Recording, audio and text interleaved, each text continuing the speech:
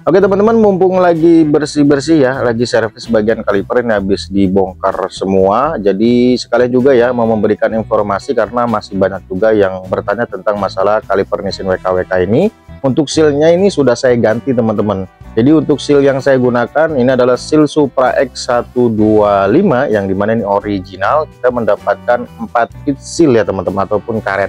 Yang dua besar yang dua lagi kecil kalau untuk yang besar ini kita masukkan di bagian dalam dan yang kecil di bagian luar teman-teman.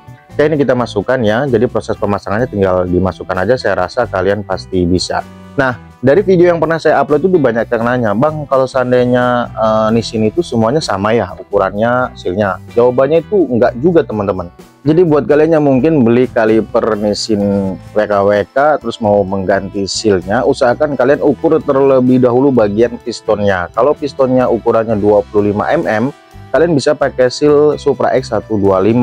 Namun kalau seandainya ukurannya 27,5 mm, kalian mungkin bisa menggunakan seal piston kaliper dari Satria FU ya teman-teman.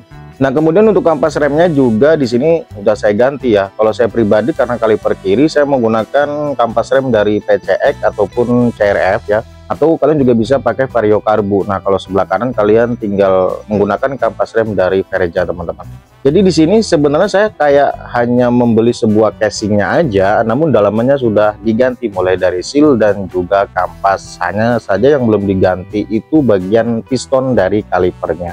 Nah kemudian apakah setelah mengganti seal itu akan ada perubahan? Jawabannya iya teman-teman. Kalau kalian tidak percaya kalian bisa lakukan sendiri ya beli yang WKWK kemudian sealnya kalian ganti. Nah di sini sudah selesai ya untuk sealnya dipasang. Nah kemudian untuk pistonnya sebenarnya juga baret-baret teman-teman ya, tapi nggak begitu banyak. Jadi hanya bagian ujungnya saja yang baret karena proses pencabutan.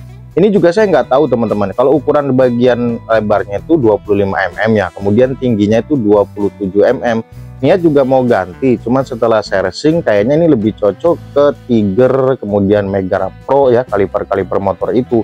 Cuman tetap aja saya belum coba uh, ganti karena menurut saya ini masih bisa digunakan. Next kalau seandainya kita ganti juga saya akan coba mencari yang di mana ukurannya pas dan tidak lupa juga nanti saya sepilkan teman-teman.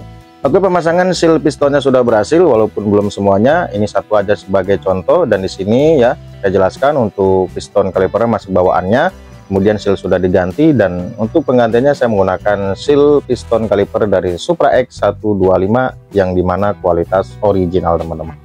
Dan sementara sampai di sini aja dulu videonya. Jangan lupa dukung dan support channel ini dengan cara like comment share dan subscribe agar kalian tidak ketinggalan video terbaru dari channel bebas semua tutorial. Terima kasih